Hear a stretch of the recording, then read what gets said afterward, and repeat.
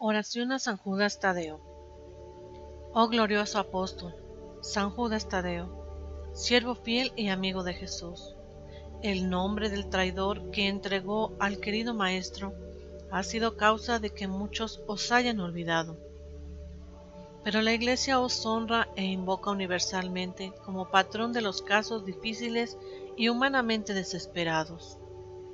Rogad por mí, que soy tan miserable, y haced uso, os ruego, de ese privilegio especial vuestro de socorrer visible y prontamente cuando casi se ha perdido toda esperanza.